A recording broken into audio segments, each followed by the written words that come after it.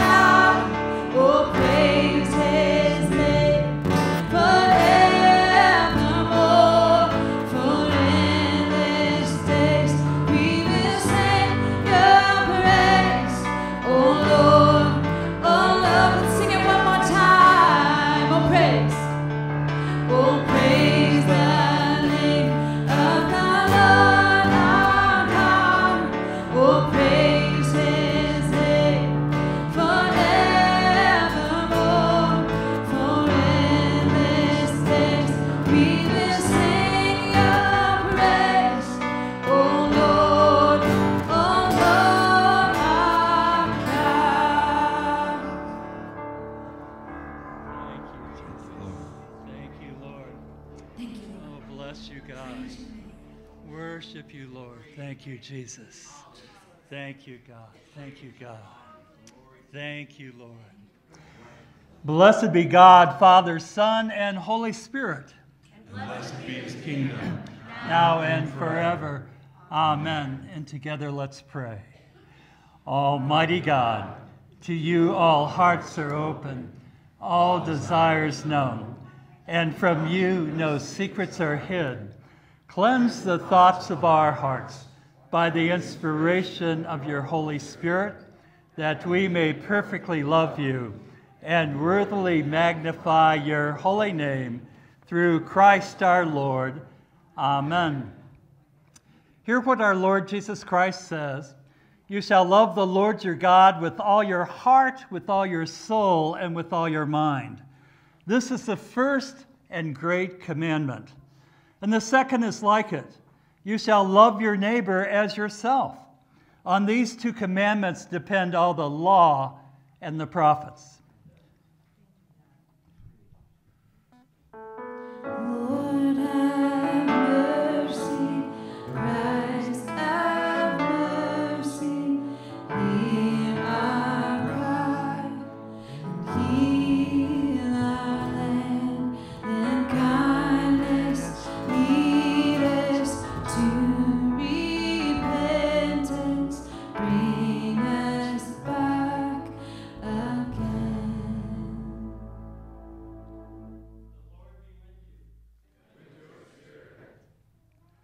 Almighty and everlasting God, you are always more ready to hear than we to pray, and to give more than we either desire or deserve.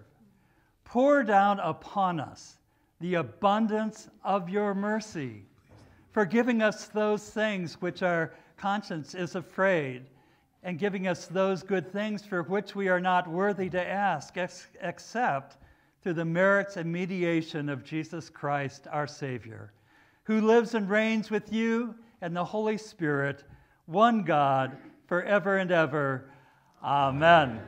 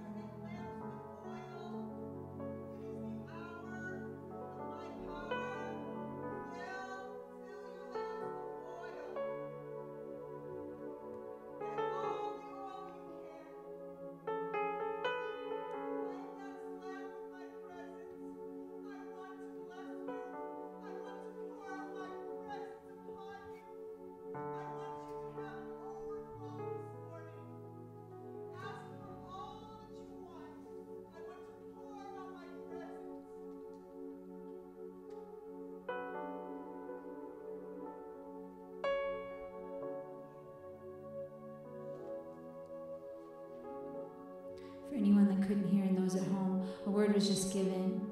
I want to pour out my oil. I am not lack in giving my oil. Ask for the oil. You must get oil.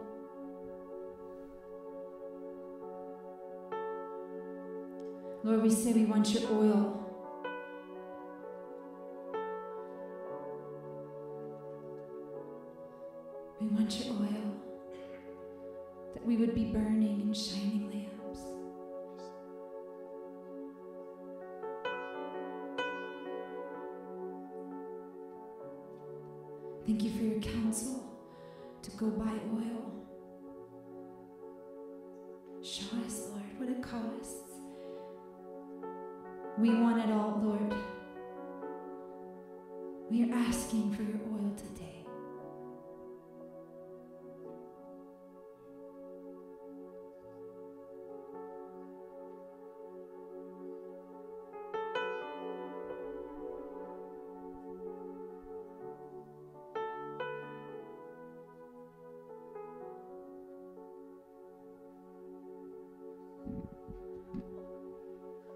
I feel like the Lord is saying that today He is healing hearts.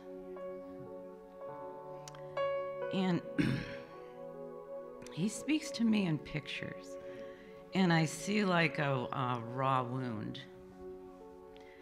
And in the picture, He's taking a, a white very light covering and putting it over our hearts, those who are hurting. Hmm.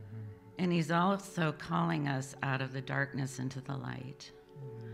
So, Lord, I do pray that you would continue to heal hearts. Lord, those who are broken, those who are hurting, Lord, those who are grieving, that, Lord, you would lay that beautiful white covering of comfort on our hearts, Lord, Yes, Lord. and bring us out of darkness into light. And we praise you that. Thank you. In Jesus' name, amen. Thank you, Lord. Thank you, Jesus.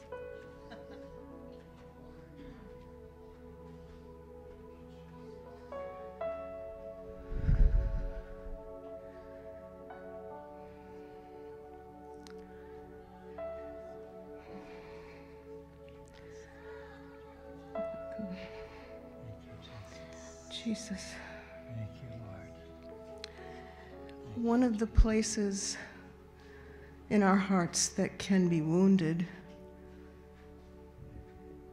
is called a father wound. Because fathers are human, and not all fathers are attentive to their children. Some of them are workaholics. Some of them are addicted.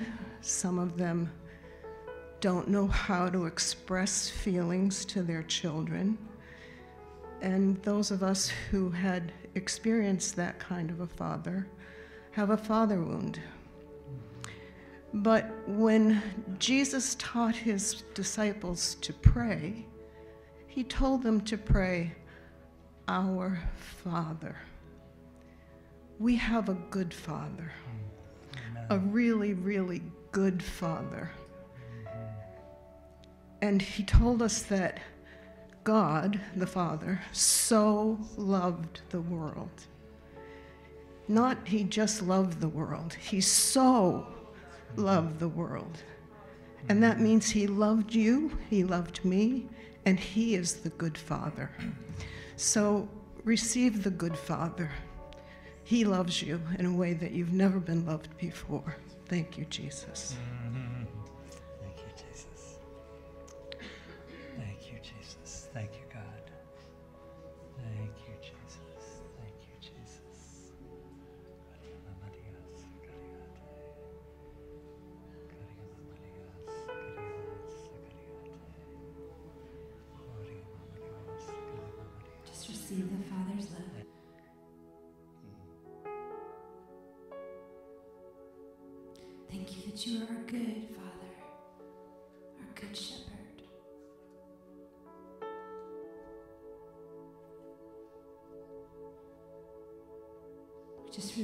Healing right now for the heart all across the room.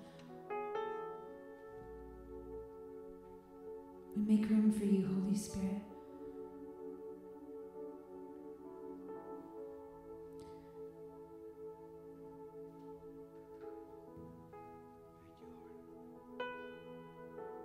If that's you and you just feel like, I think that might be me, but I don't even the love of the Father into my heart. I just encourage you to just say, I give you access to my heart. I open the door to just come in. He knows you better than anyone. And He's good. The only one who's fully good.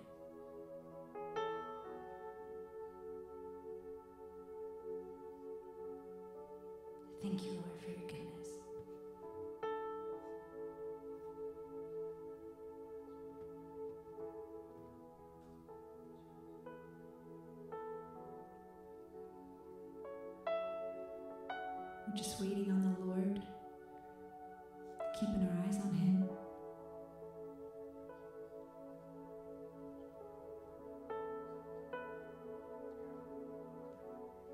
It's part of our worship to just let Him move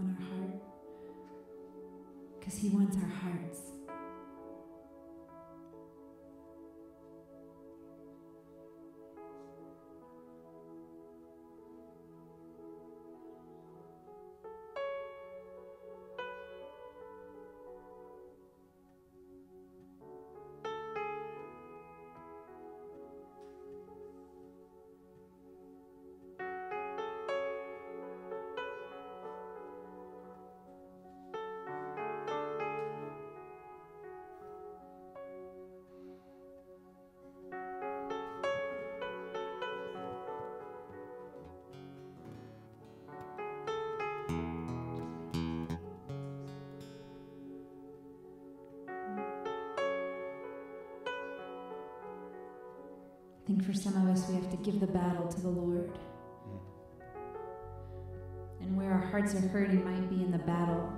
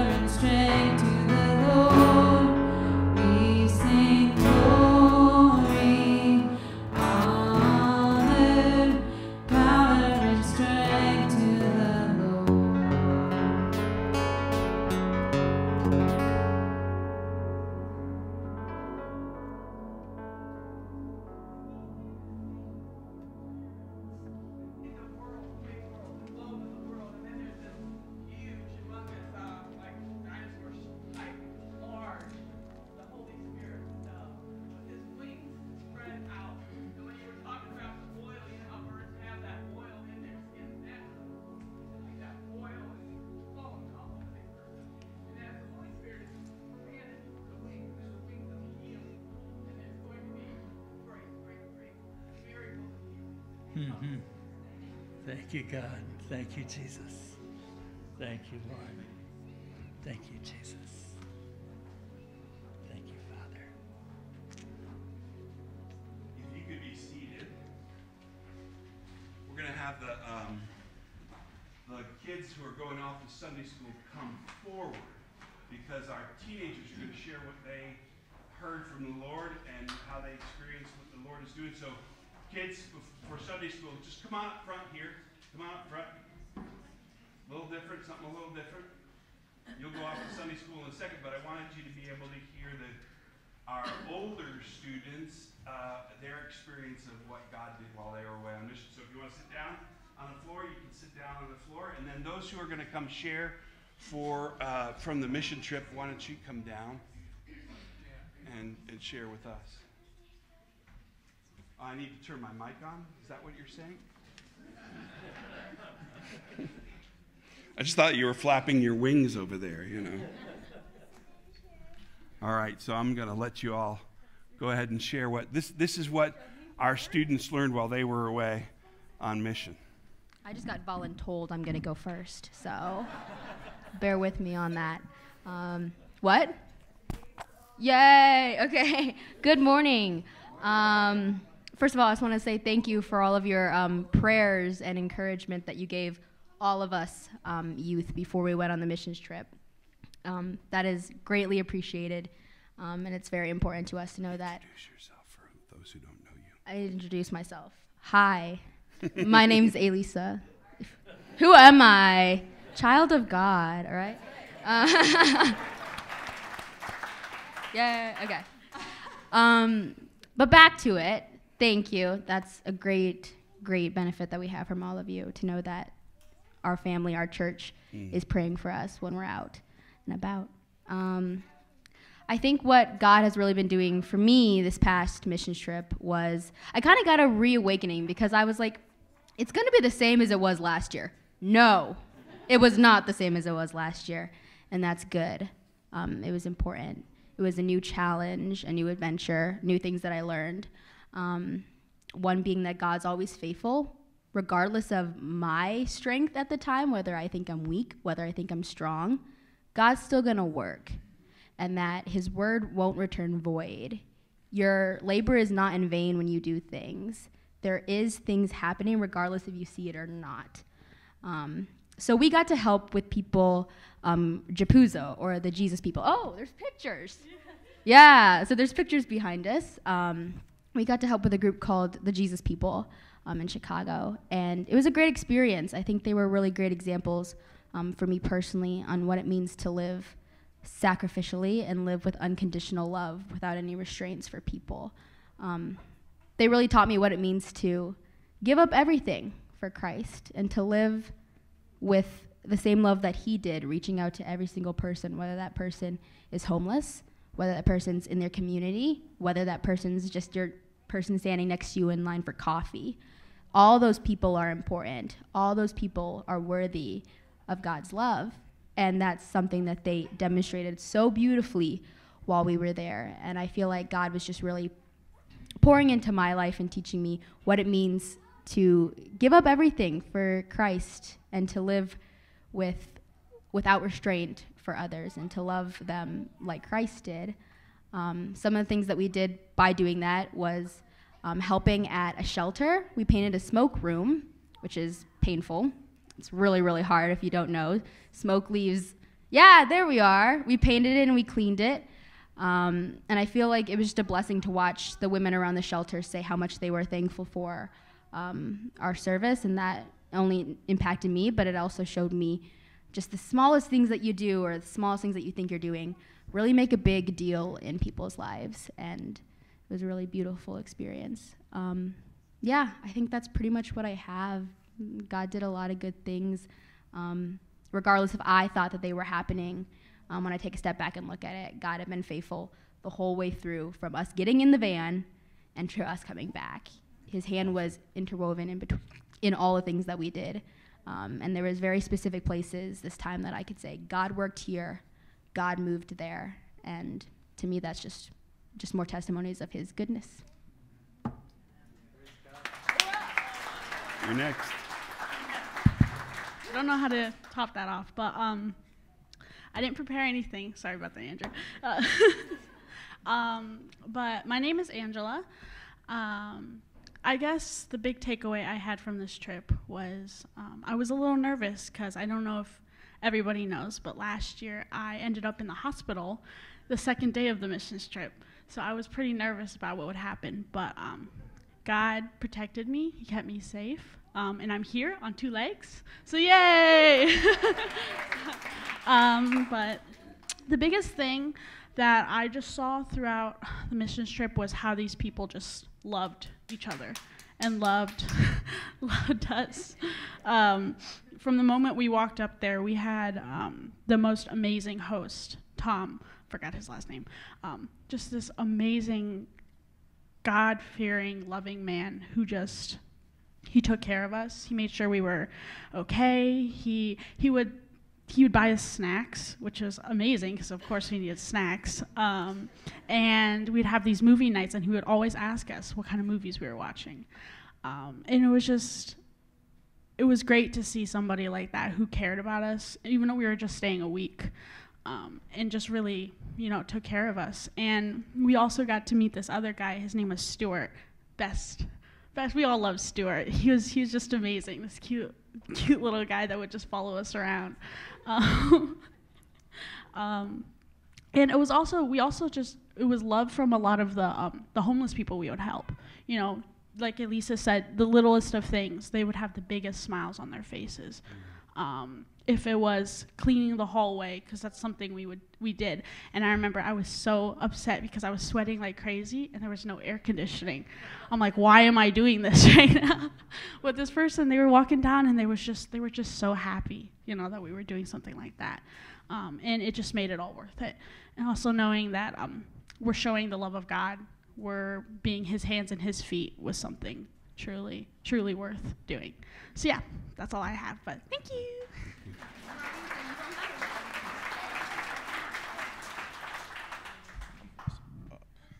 All right.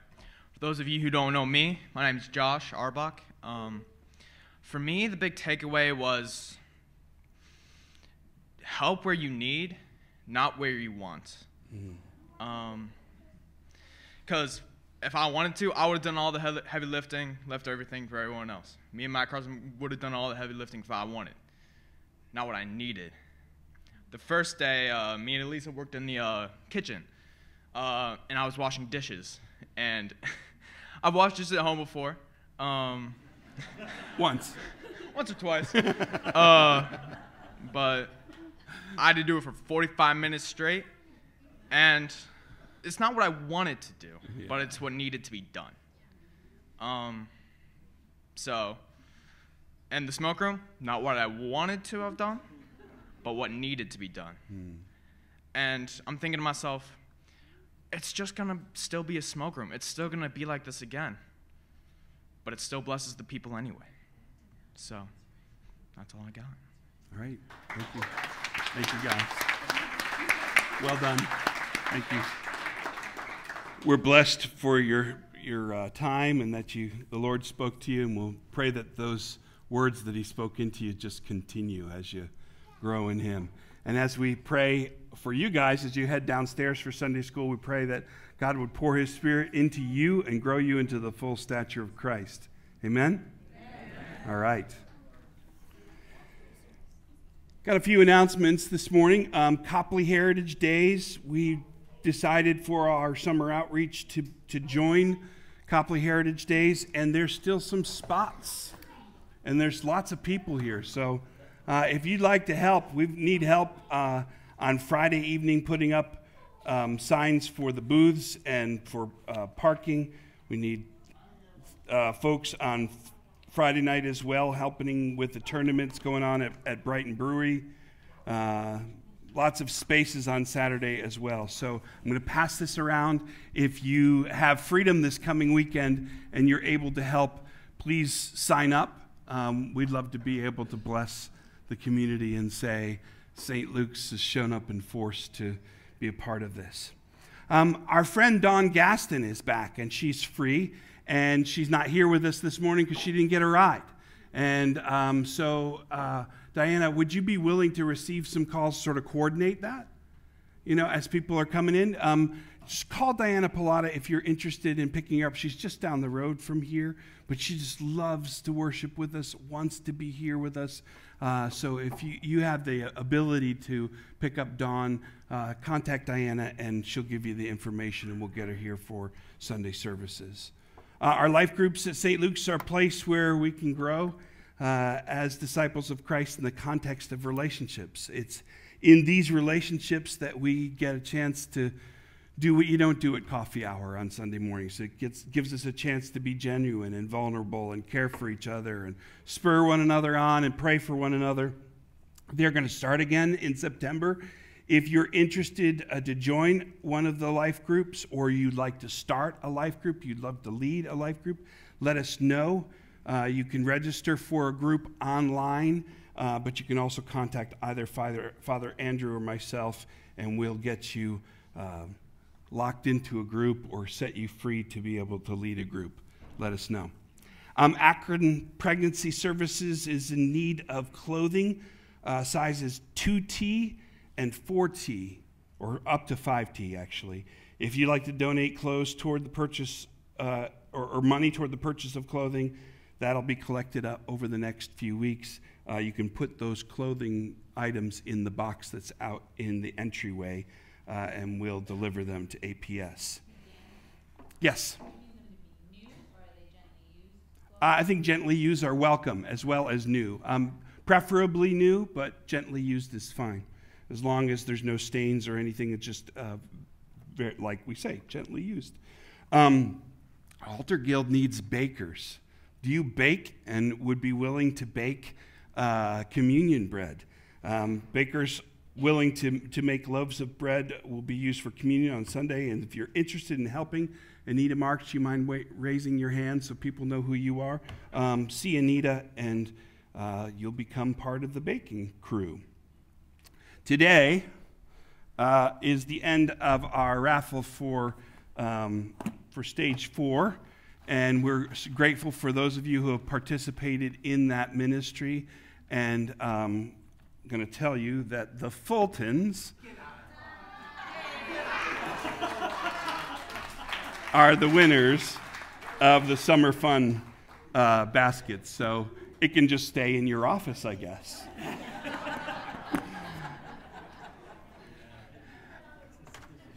Lastly, and, and uh, a little bit on the bittersweet side, I'm going to ask Ev and Phyllis to come up and share. We we helped move them a little bit yesterday. Uh, I'm sure they're wiped out today from all that they did. Um, but they're moving close to Youngstown, which puts them too far away to come and join us on Sunday mornings. But they've meant so much to us over the years. We've got a little cake to add to the dessert that was already planned out there just to say, uh, bon voyage. Uh, not goodbye, but we'll see you when we see you because I'm sure they'll come and visit. But I want to invite them up to share whatever the Lord's put on their hearts.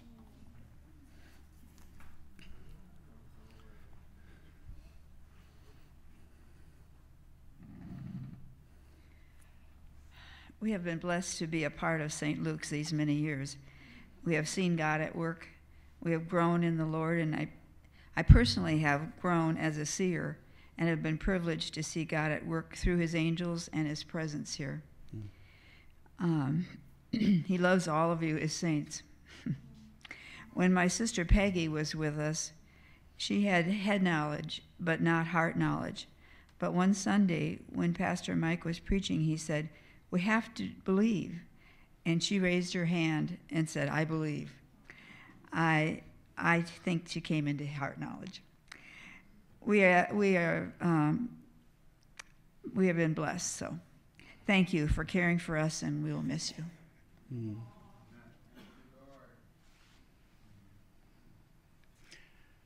Uh,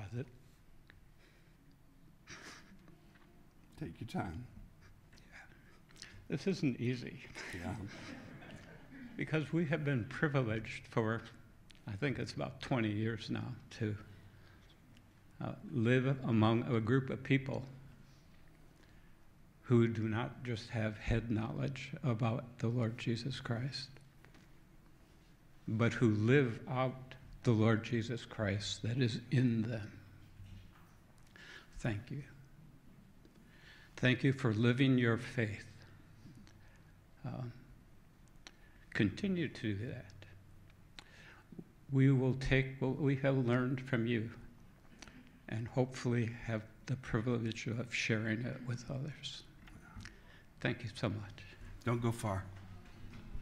I'm going to let the tears flow a little bit more as, as we pray for you. Let's reach out a hand and just pray a blessing over the Schleefs. We love them, Lord, and we just ask for your grace and your spirit to fill them and pour out on others as they have all these years. That uh, in the area surrounding um, Youngstown, they would find themselves um, just continuing to grow in grace and love and strength. It is bittersweet, Lord, but we send them out um, and ask that you would make them uh, pillars in that community there, that they would know your presence and they would walk in it. We pray in Jesus' name. Amen. Thank you, Dan. Love you guys.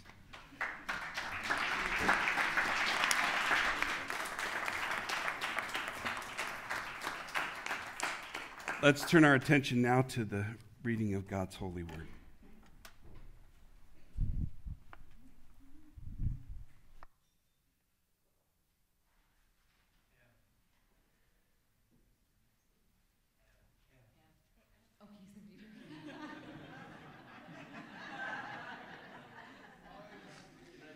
And then they asked me to read Kings 3.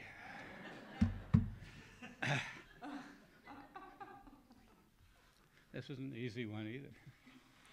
Solomon loved the Lord, walking in the statutes of David his father.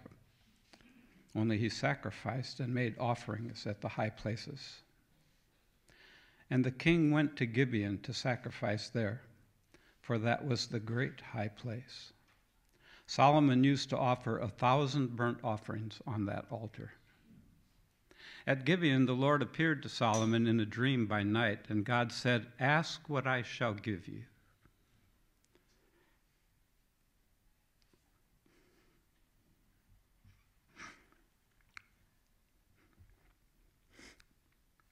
This rings. And Solomon said, you have shown great and steadfast love to your servant David, my father, because he walked before you in faithfulness, in righteousness, and in uprightness of heart toward you. And you have kept him for this great and steadfast love, and have given him a son to sit on his throne this day. And now, O Lord my God, you have made your servant king in place of David, my father, although I am but a little child. I do not know how to go out or come in. And your servant is in the midst of your people, whom you have chosen, a great people, too many to be numbered and counted for multitude. Give your servant, therefore, an understanding mind to govern your people, that I may discern between good and evil. For who is able to govern this, your great people? It pleased the Lord that Solomon had asked for this. And God said to him, Because you have asked this, and not asked for yourself long life or riches or the life of your enemies, but have asked for yourself understanding to discern what is right, behold, I now do according to your word. Behold, I give you a wise and discerning mind, so that none like you has been before you, and none like you shall arise after you. I give you also what you have not asked, both riches and honor, so that no other king shall compare with you all your days. And if you will walk in my ways, keeping my statutes and my commandments, as your father David walked, then I will lengthen your days. This is the word of the Lord.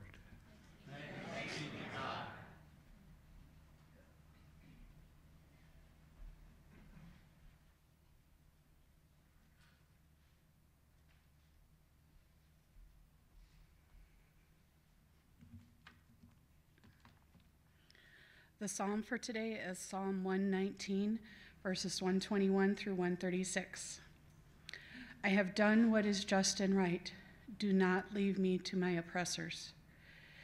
Give your servant a pledge of good. Let not the insolent oppress me. My eyes long for your salvation and for your fulfillment of righteous promise. Deal with your servant according to your steadfast love, and teach me your statutes. I'm sorry.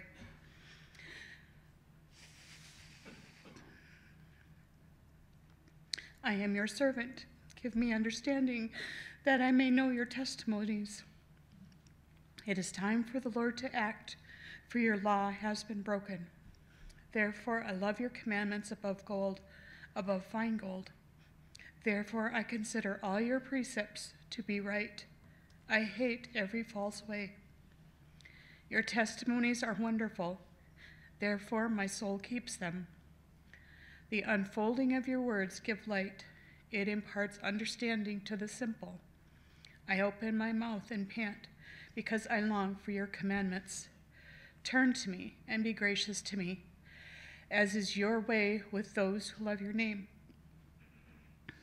Keep steady my steps according to your promise, and let no iniquity get dominion over me. Redeem me from man's oppression, that I may keep your precepts.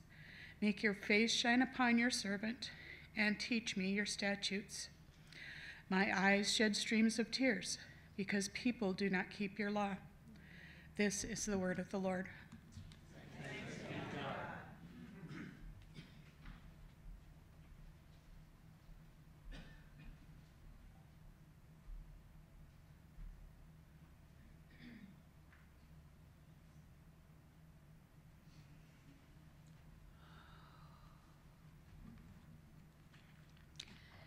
Good morning, everybody. I've been gone for the last two months because I fell and broke my thumb in five to six places. And I had a cast on, and it, I, it, it's been a mess. But anyway, I'm on the mend and I'm back, and I'm so happy to see uh, so many of these faces. I, I've missed you all so, so much. So I'm pleased and honored to read the New Testament lesson for today. It's Romans chapter 8, verses 26 through 34, one of my favorites. Likewise, the Spirit helps us in our weakness, for we do not know what to pray for as we ought, but the Spirit Himself intercedes for us with groanings too deep for words. And He who searches hearts knows what is the mind of the Spirit because the Spirit intercedes for the saints according to the will of God. And we know that for those who love God, all things work together for good, for those who are called according to his purpose.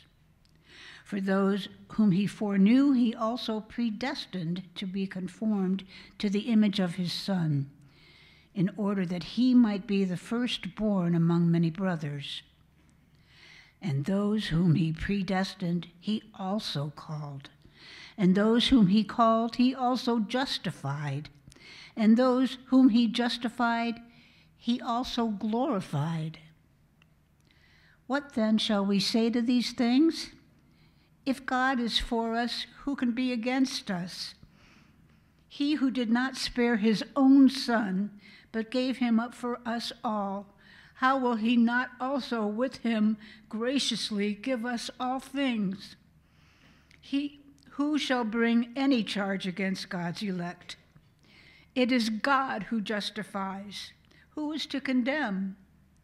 Christ Jesus is the one who died. More than that, who was raised, who was at the right hand of God, who, endured, who indeed is interceding for us all. This is the word of the Lord.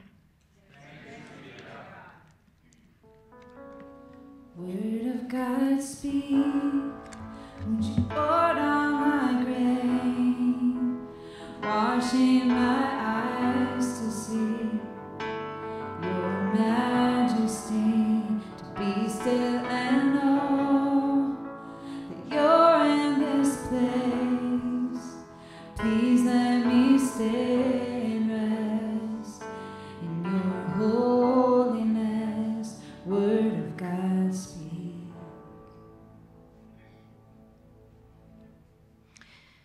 This is the holy gospel of our Lord Jesus Christ according to St. Matthew. Glory to you, Lord Christ. Jesus put another parable before them, saying, The kingdom of heaven is like a grain of mustard seed that a man took and sowed in his field. It is the smallest of all seeds, but when it has grown, it is larger than all the garden plants and becomes a tree, so that the birds of the air come and make nests in its branches. He told them another parable. The kingdom of heaven is like leaven that a woman took and hid in three measures of flour till it was all leavened. The kingdom of heaven is like treasure hidden in a field which a man found and covered up. Then, in his joy, he goes and he sells all that he has and he buys that field. Again, the kingdom of heaven is like a merchant in search of fine pearls, who, on finding one pearl of great value, went and sold all that he had and bought it. Again, the kingdom of heaven is like a net that was thrown into the sea and gathered fish of every kind. When it was full, men drew it ashore and sat down, and they sorted the good into containers, but they threw away the bad. So it will be at the end of the age. The angels will come out and separate the evil from the righteous and throw them into the fiery furnace. In that place, there will be weeping and gnashing of teeth. This is the gospel of the Lord. Praise to you, Lord Christ.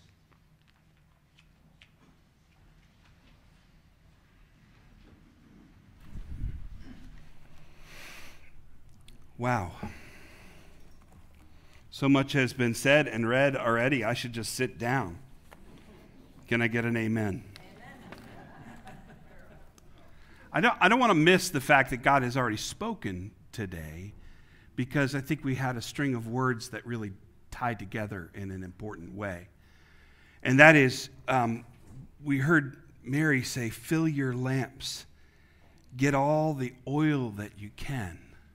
There's an urgency in our age and a time right now that we, we ought to be prepared. We ought to be prepared for the conversations that we're having with one another, that we might direct people to Christ. We ought to be prepared for whatever comes our way so that we might be ambassadors of Christ. And I think we got a hint at what some of the things that stand in the way at that is that there's a wound. There is a wounding that we don't deal with. Uh, that, that some of that is a father's wound. Uh, and if there's anybody, I'm not, this is not me just sort of taking it on myself, but I just sort of been aware in this season, the last couple of years. I've lost my earthly father. I've lost my spiritual father. I've lost my intercessory father. I've lost my brother. I've lost my father in law. There are, there's just this, I want to say glut, um, but it's not really a glut, it's a vacuous hole of people in my life, and I don't feel that empty. I miss them like crazy. But I know the Father's love, and I know that He has now called me, called us, not to take and turn that into an empty place that keeps needing to be filled and filled and filled with this anxious sense of loss but a sense of power because the Lord has called us now to live in His direct power and for us to walk in the fullness that He has given us. We are now the fathers and mothers in this culture, in this community.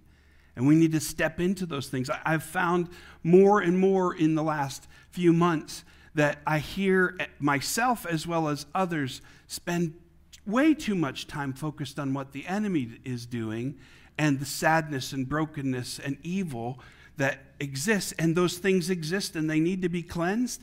But we need to focus on what the Lord is doing and, and be ambassadors of praise. You've heard me say several times before that uh, the name of the game in this life that we've been giving is displacement. We need to spend more time having the presence and power and gifting and fullness of God, displacing the things that are keeping us from living into the gifts that He's given. So that's, that's enough. I'll sit down now. No, I won't. I feel like this morning, as we look at our, the scriptures, they, they point to uh, an end note. You could, you could feel it coming. We're reading Romans 8, and it's just like, and. Paul, Paul is uh, one of those writers that just writes in run on sentences. I love him for that because I do too. He just has so much excitement in his writing about and and and and the lord said this and and the lord's doing this. And and this morning you know we we get the same sense as he starts off his uh, this section that we're reading from romans 8 verse uh, 26 is likewise sort of an and the spirit helps us in our weakness for we do not know what to pray for as we ought and he's getting to this place where he says, Nothing, nothing can separate us from the love of God. And so I want to use an illustration that I found recently uh, from the, guy, the skit guys. Hey, uh, hey, Tommy. Let Ready them for the Bible study? talk about Did this. you do the homework for the Bible study? Yes. So, Tommy, look at me. Uh-huh. You answered all the questions for Romans 8, 38, and 39. Yes. Tommy, Mostly. Mostly. Well, the answer to the last question is not in the Bible. The answer to the last question, what can separate you from the love of God? It's in there. It's not in there. Yes, it is. It's not in it's there. in there. It's in there. I would No, not- it's not. I would No, not it's give you. I would not give you questions. It's not in there. No, it's yes, not. yes, No, it's it is. not. Show me, Bible boy. All right, here we go. Are you ready? Are you ready? Are your ears open? Because here it is. Are you yeah. ready? Can you handle this? Can you handle this? Yes. I think I deserve it. You can handle it. No, in all these things we are more than conquerors through him who loved us. Get ready, here it is. For I am convinced that neither death nor life, neither angels nor demons, neither the present nor the future, nor any powers, neither height nor depth, nor anything else in all creation will be able to separate us from the love of God that is in Christ Jesus our Lord. See, it doesn't say. Yes, it does. No, it doesn't. It says nothing. Exactly. Yeah, you proved me right. No, you proved me right. Wait, what? Yeah, the something that you're looking for is nothing. Huh? Something is nothing. No, something is something. Something is nothing. No, nothing is nothing. Nothing is something. No, nothing is nothing and something is something, but something can't be nothing and nothing can't be something. But in here, it is and it can. So you just want me to go in there and say nothing. Yes. Just be like, nothing. Exactly. and the specific nothing is mm-hmm. neither and nor. Oh, fantastic. yes. Neither nor. Nothing. Nothing, neither nor. Nothing, nor, neither, nothing, neither, nothing, nor. so I'll just go in there and not say anything. No, I want you to say something. Then what is that something? Nothing. I wanna hit you. What? Nothing. Yes. Nothing. Yes. Nothing. Yes. Nothing. Yes. Nothing. Yes. Nothing. Nothing. Right. Nothing. Nothing. Nothing.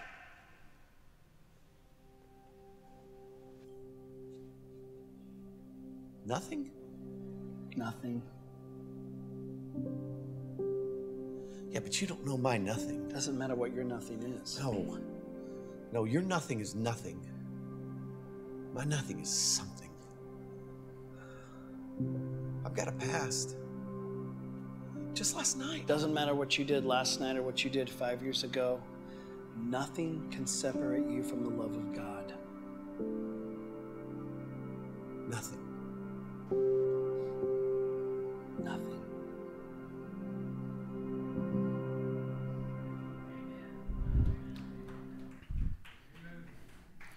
It may seem silly, you know, at the at the point where they're arguing over nothing. but we realize that we get to the throne of grace and he says, "So what do you have to show for yourself?" Jesus Christ alone. We have, we have nothing.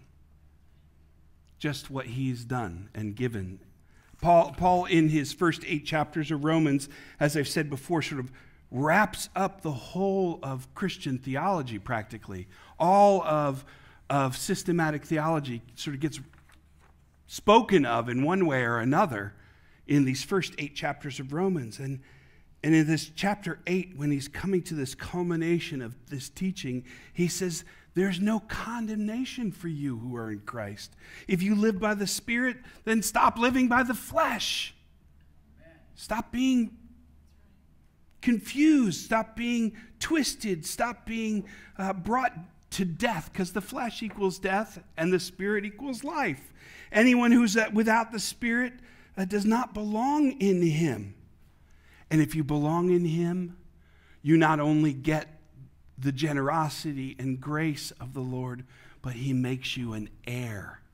You're a family member, you're wholly His. Our future is glorious because of what He has done. And, and as we look now to, to Romans 8, verses 26 and following, He says, So remember that the Holy Spirit meets us in our weakness. Do you see that turning point? He's like, but my nothing, my nothing is something. My nothing is, is something that I don't want exposed. It's something that I, I don't want people to see. My nothing is uh, not only a stumbling block, but it's a barrier to me. And his friend says to him, Nothing means nothing. Nothing. Nothing can separate you if you yield yourself to the Lord. Then the Spirit walks and gives us strength in our weakness. He Himself intercedes with groanings that are too deep for words, beyond what we have scripted or what we have scribed as a language that we can understand. He searches our hearts and our minds and he intercedes for the saints according to the will of God's God's will for what is to be. So Jesus is with his disciples and he's teaching them through parables. And we heard it in the parable um, of the sower. And I said to you a few weeks ago, so generously you, you have been given an opportunity, not only an opportunity, but a responsibility to take the love of Christ that is in you and plant it not just one here and one here and one here, but to do as a sower would in those times is dig your hand deep into that bag of seed and throw it out there and not worry that you have to tend it or, or t- care for its fruit or at the end of the season, prepare it for the next harvest because your job is to sow. You may not get to be the harvester, but you'll know that what you've done with the Word of God is planted generously around you. So Jesus moves on to these other parables, and we hear from him in Matthew 13. Uh, he put another parable before them, saying, The kingdom of heaven is like a grain of mustard seed. And this particular parable isn't always paralleled to what we heard with the parable of the wheat and the weeds, but you hear it unpacked in this way because it's on the flow of those parables that have already been spoken. You have this tiny little mustard seed, and it becomes this giant plant where all the birds come and rest and are cared for and given shelter. And there's an implication in this word that that's not just all of the church people that get to come and gather. It's not just the neat and tidy people. And I would say sometimes the neat and tidy people aren't always the church people. And the people that don't feel like they're welcome in church are the people who get to rest in the shade of this as well. And the Lord is giving a message to us in the same way that he did with the wheat and the tares, or the wheat and the weeds. I will do the sorting. I'll do the sorting. If you have a, a, life that is consumed with the flesh of judgment, then you might end up being pulled up, torn out, along with the weeds. You might be one who is uh, seen as not living out the faith that you've been given, living out by the Spirit, but living out by your flesh. The kingdom of heaven is uh, like leaven that a woman took and hid in three measures of flour till it was all leaven. The kingdom of heaven is like a treasure hidden in a field, and we heard it today. The man goes out and he sells everything he can to be able to buy that field. Why? Because that one treasure that's found is worth more than anything else. And oddly enough, you would think that that's our job to go find the treasure, and we do find that treasure in Jesus, but really, the application of that parable is also on us. Jesus has found you to be his treasure. And he's willing, the Lord, the God of the universe, has been willing to give up everything so that we can say, Well, no, we worked hard, Lord, and we have great kids, and we have this house, and we have two cars, and, and a motorcycle, and a dog, and we've been good to our neighbors. And he says, No, you have nothing. You have nothing. None of that amounts to anything except for what you are in Christ and how you have responded in those places. So fill your lamps with oil. Find that place that needs to be healed and allow the Lord to heal it and start living beyond that healing. Allow Him to take those strengths and build them so that He might. Um, David came up to me early in those words and he said, you know, as we receive the Father's love, he just got a sense this morning before any of these words were spoken that the Lord was saying he was going to protect and, and heal the chest. And the, the reality is, you know, when you put on armor, you put on this place where your heart is protected. The Father's heart is protected. You're given the strength to do and be what you're called to be because the enemy is trying really hard to get in. The enemy is trying really hard to plant seeds that are counteractive to the seeds that you're sowing in your life and in the people around you.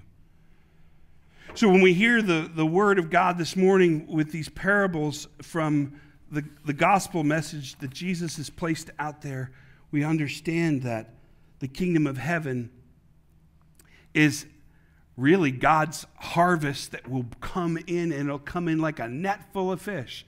And there are good fish and bad fish. And we don't need to necessarily worry necessarily about what fish that are gathered in because God will do the sorting. Our job is to bring and care for and tend to the ocean, to tend to the people that are around us, to, to share the good news of the gospel, to be able to not be dissuaded by the, the distractions of the enemy or uh, what we perceive is something that is nothing. Because God can even take what is perceived as nothing and grow it into the largest plant there was the mustard tree. So we've got to get our perspective. This morning, the Lord, as we were preparing for worship, said, I care about the small things we oftentimes are worried about the big picture. And we find ourselves distracted and, and a little dismayed because we can't fix our finances or we can't fix the health problems that are going around us or we can't fix the, the, the lives that drive us crazy. And we miss the details. And God cares about the details because in the finite moment of a word of encouragement, you might change the flow of somebody's life. You might completely change what the, your day looks like if you're about the work that the Lord wants to do. If you so generously uh, and, and you're willing to ask the Lord in your prayer, Lord, how can I be yielded to you? How can I fill my lamp today so that I can give light to those that are around me? How can I be prepared for whatever's coming? He'll do it. He'll give you opportunities that you didn't see coming. He'll, he'll allow you to see and hear. And even if you miss it, I love this about the Lord is when you, when you think that you're prepared and you think that you are following His lead, uh, you'll sort of go, oh, that was, that was for me, wasn't it? You wanted me to say something today to that person. You wanted me to, to give up the cash that was in my pocket, and I was so attached to it that I, I thought these thoughts that I have, just like I, I would say other people have, but I'll keep it on myself. you drive by that person with the sign and you go, well, they're just panhandling for something that I don't want to contribute to. I don't want them to, to spend it on drugs or alcohol, so I'm not going to give them my cash. And I've already made a judgment, I've already passed a decision about what's going on in that moment instead of just saying, let the weight of the Lord deal with that. And if the Lord's asking me to give, to give. If the Lord's asking me to operate out of wisdom and not give at that moment, the one I should be listening to is not my wishful thinking about my cash, but what the Lord wants me to do. Give it to them or not. So this morning, as we are hearing all of these words, I just I, I feel like it it shifted in what I had prepared because it just kind of I feel as though culturally, I'm not talking about anything specifically, but it's so illustrated in this political stuff that's going on right now. We are so bombarded with information and misinformation. People are trying to be confused that we shut down. And instead of going and being clear about the small things and caring about the people that are around us, we just protect ourselves and our world. And the Lord really wants for you and I to be in a place where when we operate in the Spirit, as it says in uh, Romans today, that if we operate in allowing the Holy Spirit to intercede for us, then we will know what the Spirit wants. We'll be able to function in a way as we're yielded to the Spirit. We might, we might conform ourselves to the words that the Lord wants to transform us with. Uh, Romans 12, uh, verse 2, is a verse that has long spoken to me. Uh, Do not conform to this world, but be transformed by a renewing of your mind. I memorized it a long time ago. I'm like, that's right. I need to not allow myself to be conformed. And I spent a lot of time focusing on that part of the word. But the rest of the word says, so you may know. So you may know the pure and perfect will of the Father. Doesn't end there. We stop our conformity to the world. We stop allowing us to worry about whether or not we're a wheat or a tare, or whether we're, you know, we're being infected by the world. You take the infection, forgive the analogy, of the Lord and his blessing and pour it out on everybody else that you have. Let the light of Christ shine so clearly upon everybody and everything that's around you that they might know that they've come in contact with something different than what the Lord, but what the world has to offer. The beauty, of this is that when we focus on this kind of understanding in, uh, of the Holy Spirit moving in ourselves, we know with certainty that we are sanctified. We know that we're okay. We know that Nothing can separate us. That's coming next week, I know.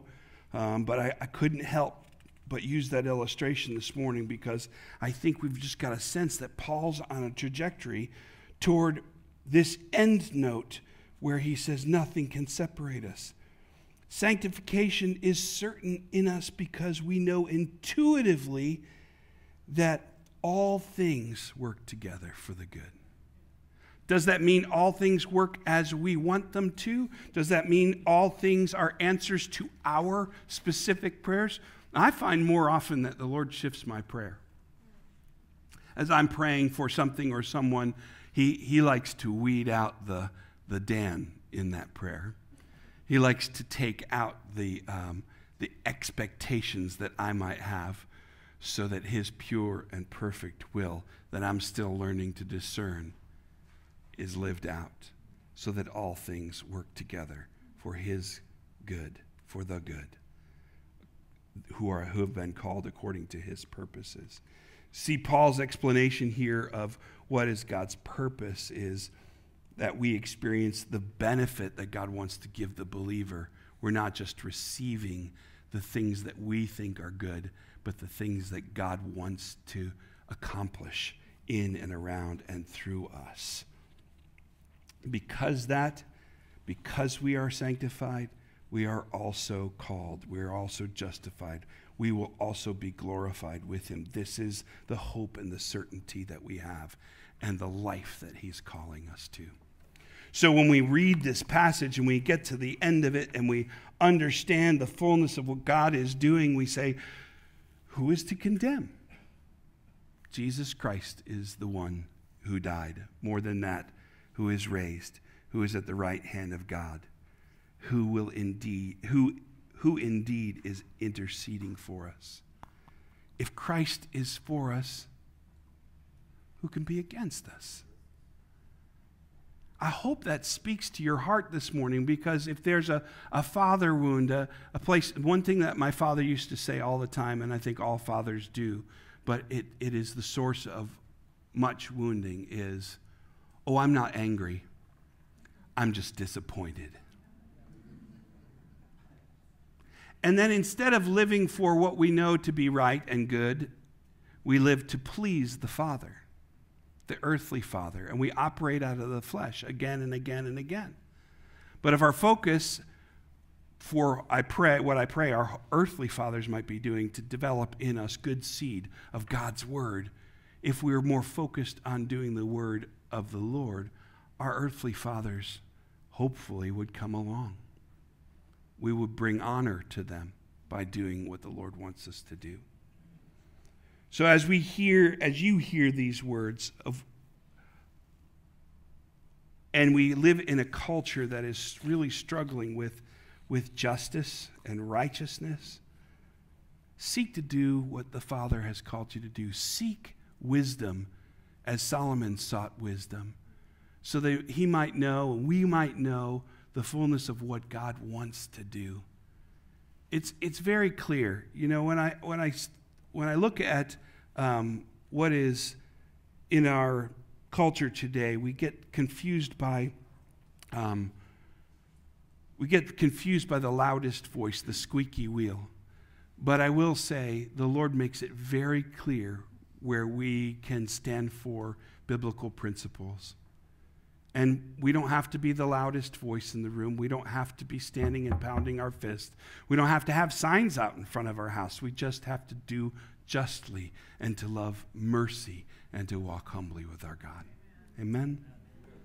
So remember today, the very thing that you have to give to this world is Jesus. The very thing that you have to stand and account for the place that you have in his holy family is Jesus. But you have nothing from this world. You have nothing to be able to offer him, just a gratitude, a, a finality of his displacement of what is of the flesh in our lives so that you might live by his spirit. Amen? Amen. Let's pray by saying the words together of the Nicene Creed. Please stand. not where I. Scott.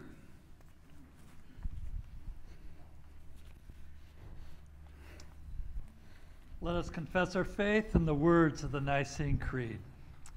We believe in one God, the Father, the Almighty, maker of heaven and earth, of all that is seen and unseen.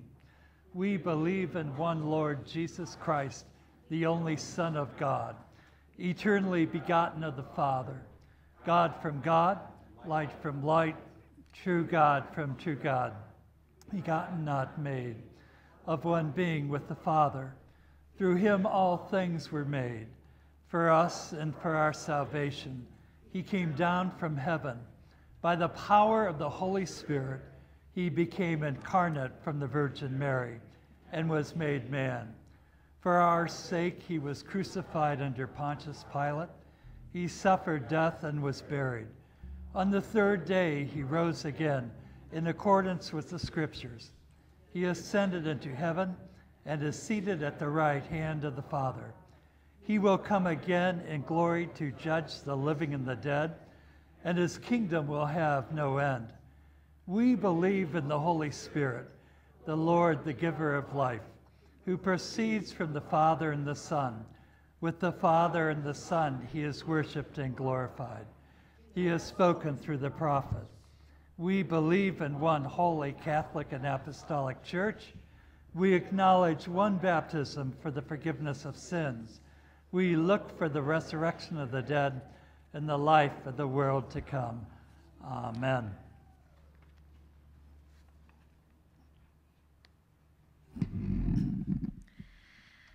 Let's pray for the church and the world as our hearts and voices proclaim our desire to see you move in our midst. We pray, Lord, for peace, that the world would operate in your presence, apply your love, and live in unity until we are called into your heavenly kingdom. We pray for our Archbishop, our Bishop, our priests, and our deacons.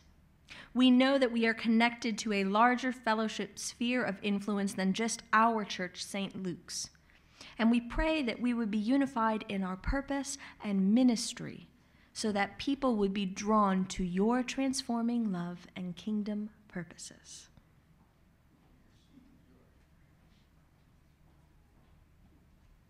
We pray that your word would go out to the ends of the earth. We pray for all believers to have a hunger for your word and to seek to teach and disciple others from it. Yes, Jesus. We pray for believers and missionaries who are persecuted for their faith. Protect them, Father. Give them what they need. We pray for you to call our nation back to you, and for those in authority and in public service, that they may seek your face and do your will. Please help us. Help. We pray for the broken, the anxious, the depressed, the ill, the recovering, or any form of physical or spiritual oppression. Help. Help. We pray for those who grieve the loss of loved ones. We thank you, Lord, for the hope of heaven, and we entrust those who have passed to your eternal care.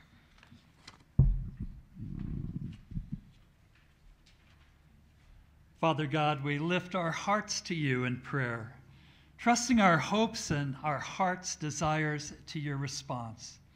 May we continue to give thanks for your continued hand upon our lives and that our hearts and minds would be aligned with your will as we pray to you, Father, Son, and Holy Spirit.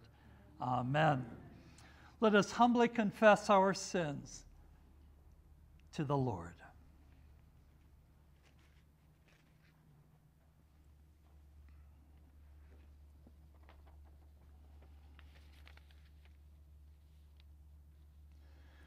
Most merciful God, we confess that we have sinned against you in thought, word, and deed, by what we have done and by what we have left undone.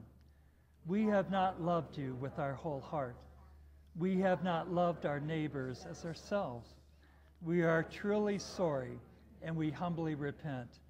For the sake of your Son, Jesus Christ, have mercy on us that we may delight in your will and walk in your ways to the glory of your name. Amen.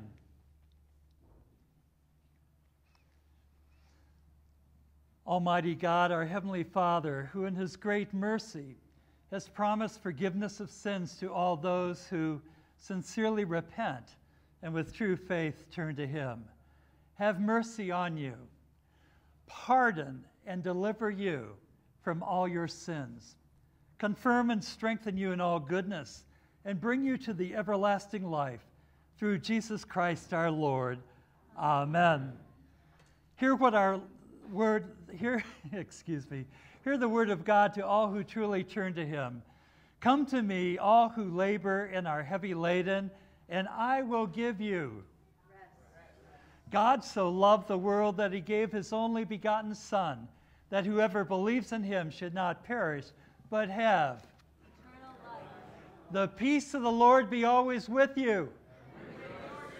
Let's take a moment to exchange the peace of God to those within five feet of you.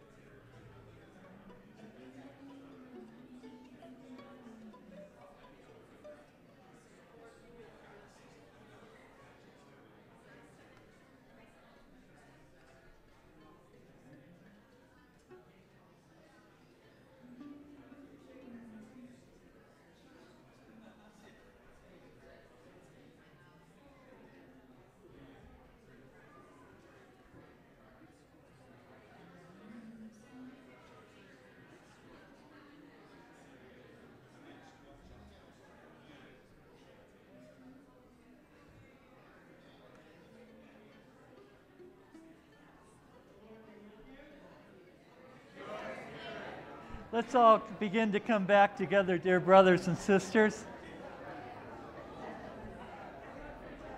Ordained confusion, it's great.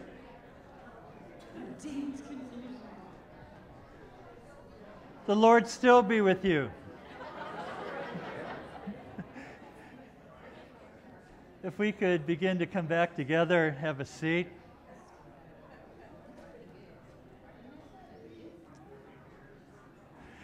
Was a word uh, picture that I felt the Lord was giving me today that ties in so much with all that's been said and uh, a wonderful word from uh, Father Dan.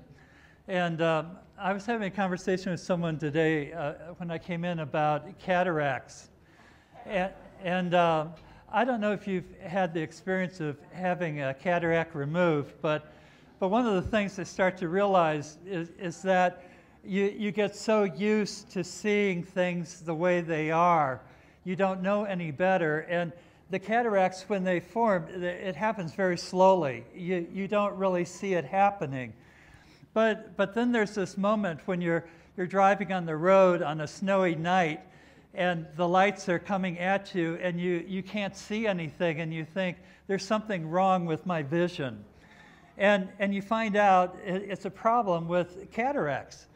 And, and so you, you go and you, you have the old lens removed and you have a new lens put in.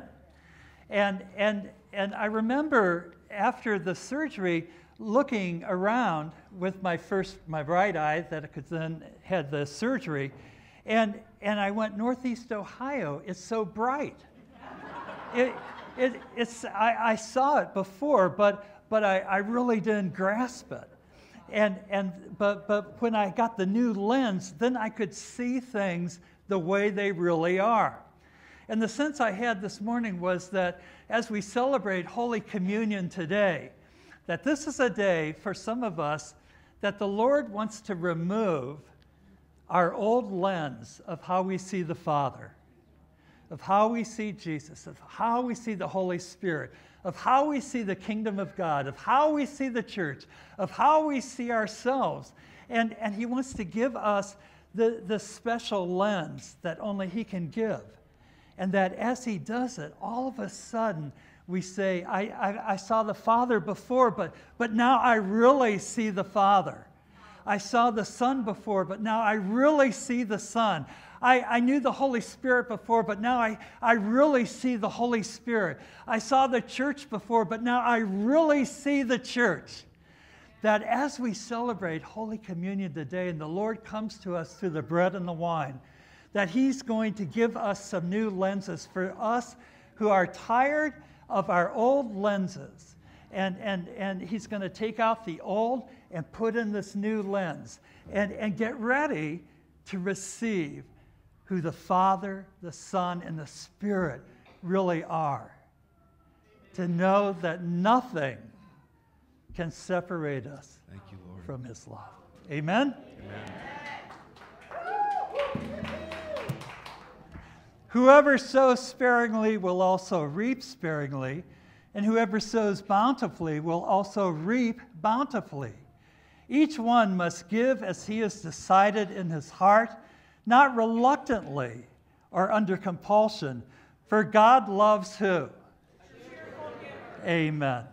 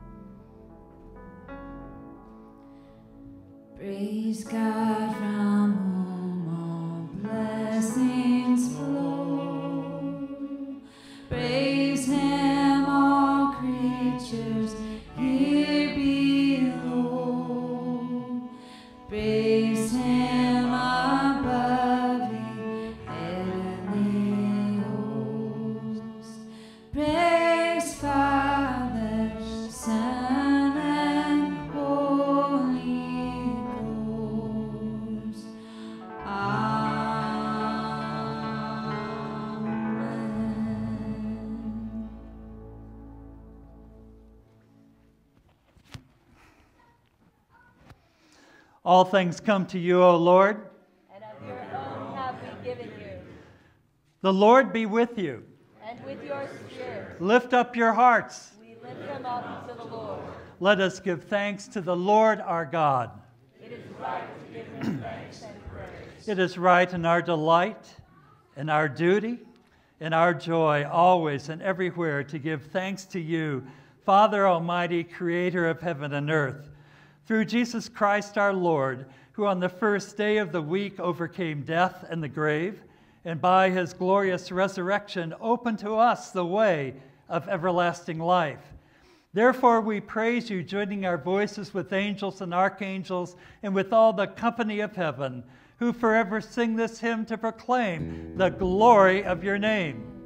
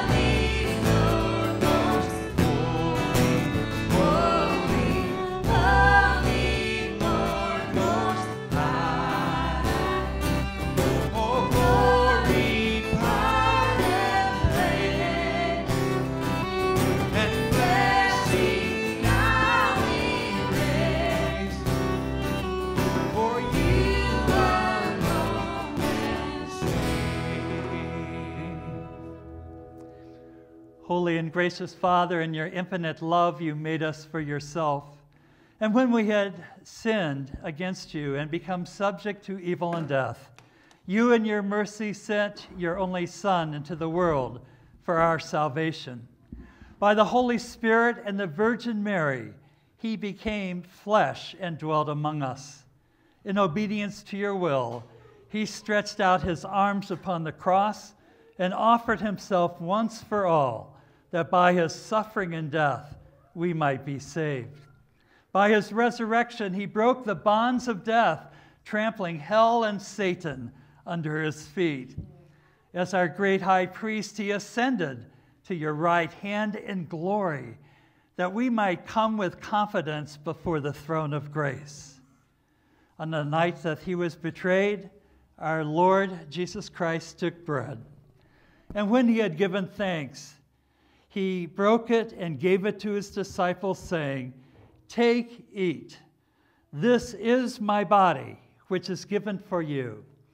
Do this in remembrance of me.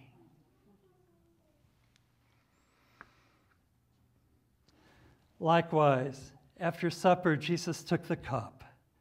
And when he had given thanks, he gave it to them, saying, Drink this, all of you, for this is my blood of the new covenant, which is shed for you and for many for the forgiveness of sins.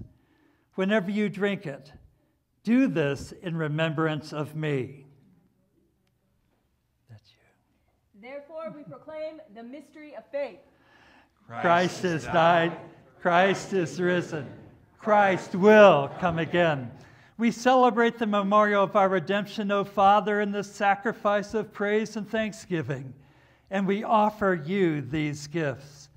Sanctify them by your word and Holy Spirit to be for your people the body and blood of your Son, Jesus Christ. Sanctify us also that we may worthily receive this holy sacrament and be made one body with him, so that he may dwell in us and we in him. And bring us with all your saints into the fullness of your heavenly kingdom, where we shall see our Lord face to face. All this we ask through your Son, Jesus Christ, by him and with him and in him, in the unity of the Holy Spirit all honor and glory is yours, Almighty Father, now and forever. Amen.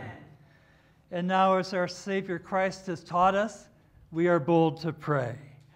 Our Father, who art in heaven, hallowed be thy name.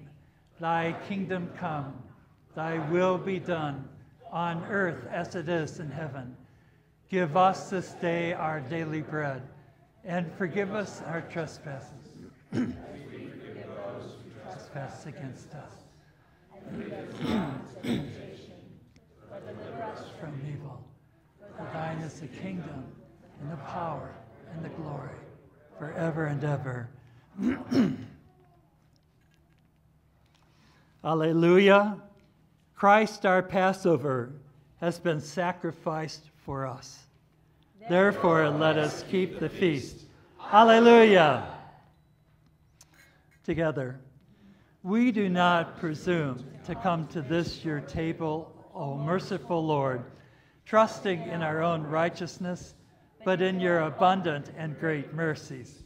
Apart from your grace, we are not worthy so much as to gather up the crumbs under your table. But you are the same Lord whose character is always to have mercy. Grant us, therefore, gracious Lord, so to eat the flesh of your dear Son, Jesus Christ, and to drink his blood, that our sinful bodies may be made clean by his body, and our souls washed through his most precious blood, and that we may evermore dwell in him, and he in us. Amen. Lamb of God, you take away the sin of the world. Have mercy on us. Lamb of God, you take away the sin of the world. Have mercy on us. Lamb of God, you take away the sin of the world. These are the gifts of God for the people of God. Take them in remembrance that Christ died for you, and feed on him in your hearts by faith and with thanksgiving. Please be seated. As you come forward, I'll try to make this less confusing. As you come forward, uh, I will place a small piece of the consecrated bread in the palm of your hand. And for those that receive the bread, you can go to my right, where there will be this metal chalice, and you receive the bread directly first, and then you can receive a sip of the consecrated wine. For others, there are wafers. And um, if you would like to receive a wafer, you let me know that, and I'll put a wafer, consecrated wafer, in your hand, and you take it over here, and there's this chalice like this, and you simply dip it lightly into the um, consecrated wine and receive it that way.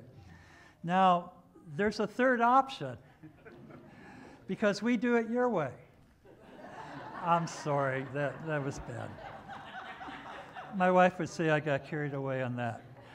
Um, there are these uh, sealed uh, grape juice and uh, um, wafers that are packaged, and you can also ask to receive one of those if you prefer and receive communion that way.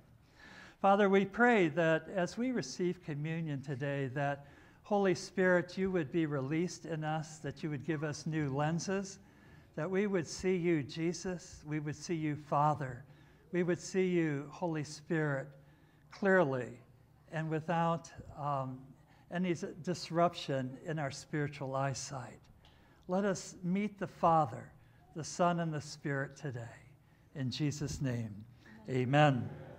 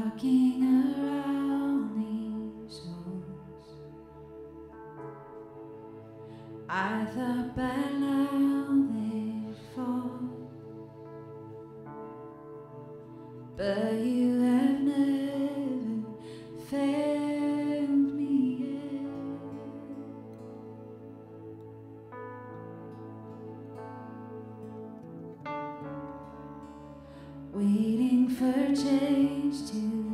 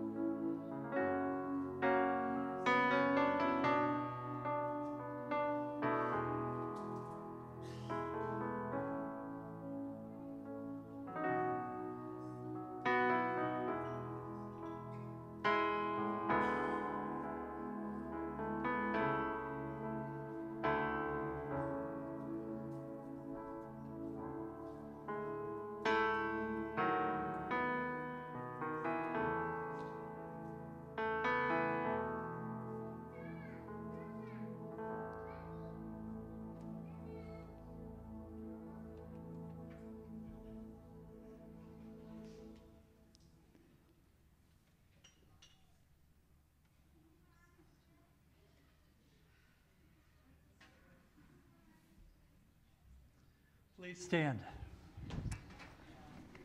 As we give thanks to the Lord for having fed us today.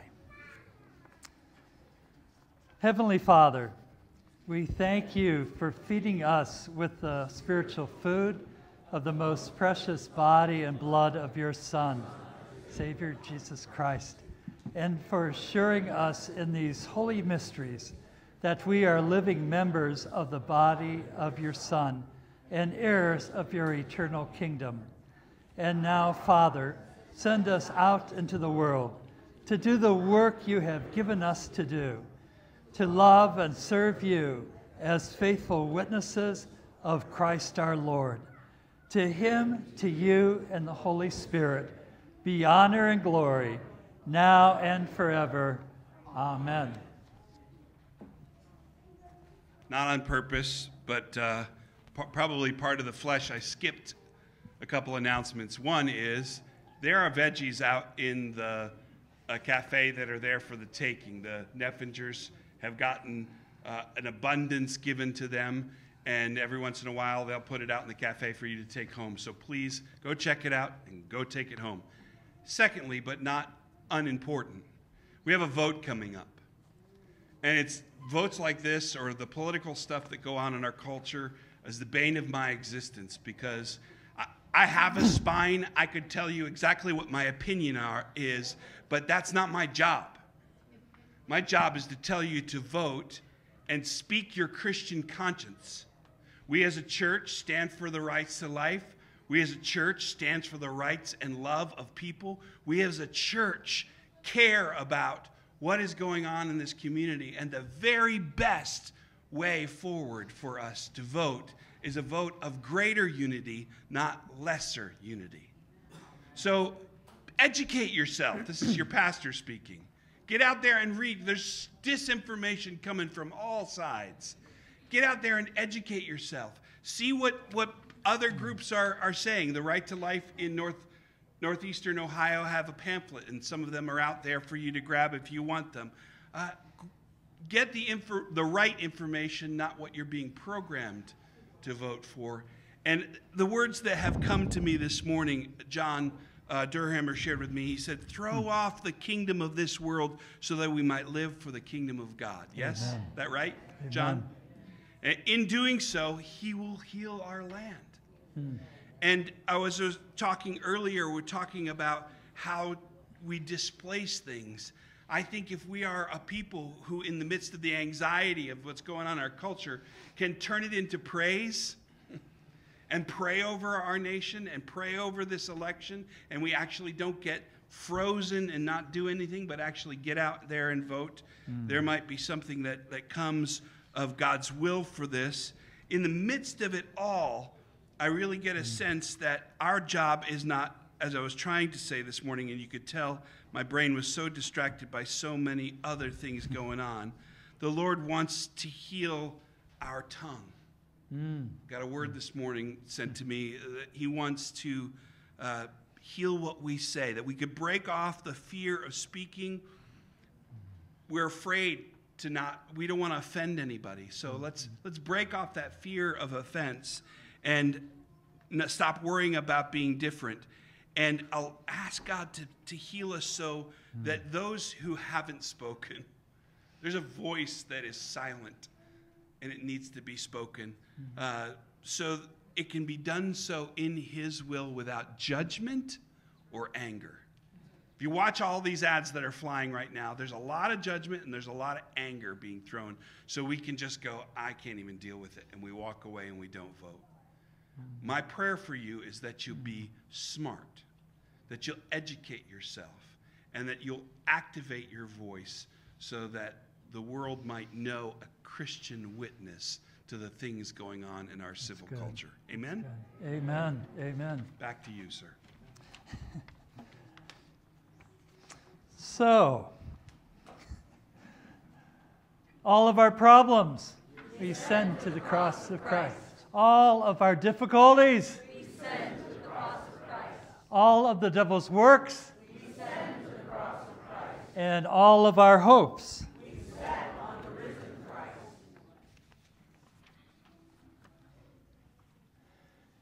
May the Lord bless you.